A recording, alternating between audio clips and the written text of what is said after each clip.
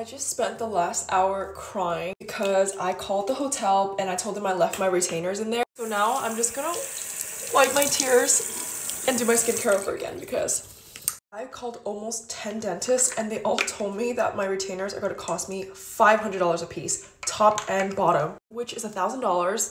And honestly, like, I just feel like a piece of plastic and metal in my mouth should not be $1,000. And I posted onto my story and you guys are like, that's such a scam, retainer shouldn't cost that much. But I literally called like everywhere in my area. And the cheapest deal that I got was $700, 7 760 for total for both of them. Like I feel so dumb for leaving them in the hotel. Hotel says they don't have it. Oh my god. Like I literally could buy 100 hamsters with that. I could have bought a new PC. I could have bought a nice purse for myself, you know, just to keep myself happy. But now I have to spend it on something I really shouldn't be spending it on. It's just a piece of plastic and metal. Like what?